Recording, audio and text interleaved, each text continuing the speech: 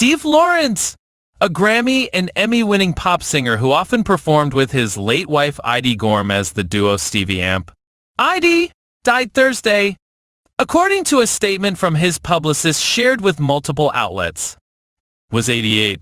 Lawrence died in Los Angeles from Alzheimer's disease. Publicist Susan Dubow announced.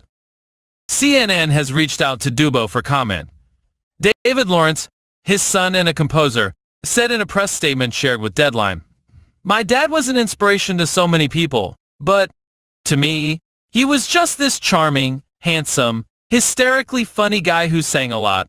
Sometimes alone and sometimes with his insanely talented wife. I am so lucky to have had him as a father and so proud to be his son.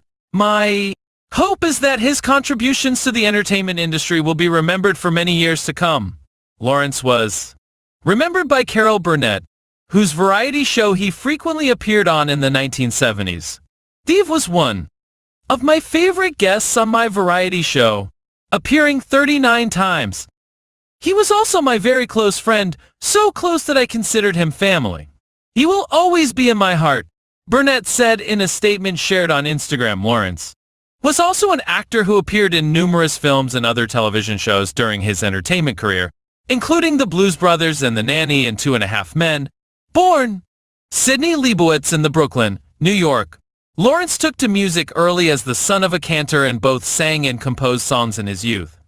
He was a teen when he went on the television show Arthur Godfrey Talent Scouts, which gave him the opportunity to sing for a week on Godfrey's radio show.